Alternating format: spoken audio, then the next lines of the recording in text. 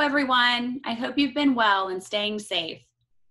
As we head into June, Achieva will be starting to reopen our branches. In the interest of safety for our members and employees, this will be done with care, so you will see some changes at our branches. The lobbies will be open by appointment only. You can book an appointment by visiting the locations page of our website at achievacu.com or by calling the branch directly. Once you book an appointment, you will receive some instructions on what to expect when you arrive. When you arrive at the branch, you will notice some differences inside as well. We're recommending that you wear a face mask at all times and that you practice social distancing. We will have protection screens in place as well as hand sanitizers. And our coffee is available and will be made for you to enjoy during your visit. We do ask that if you're experiencing any symptoms such as coughing or fever, that you please continue to use our drive-through service instead. It's important to us to keep our members and staff healthy and safe, so these procedures will continue to be in effect until further notice.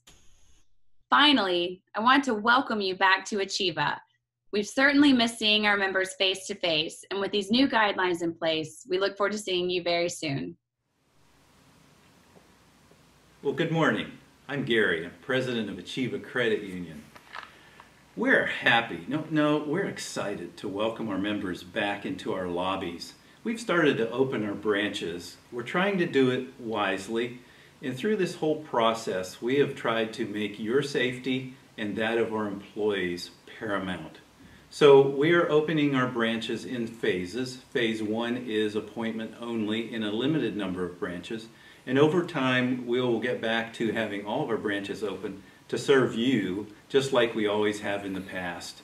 You know, Achieva is about dominating in service, and dominating in service really means take the personal approach to each interaction. So while we're going through this reintroduction to our branches, we're also keeping you in mind and your needs. So please talk to us, reach out to us, call us, come and see us. We want to help you over the next, especially over the next several months to get back to your normal because that means when you get back to your normal, we get back to ours. Our employees are so excited. We're so uh, looking forward to seeing you back in our lobbies, and we hope that you and your family continue to follow the guidelines, stay safe, and guess what? We'll be fine. Welcome back.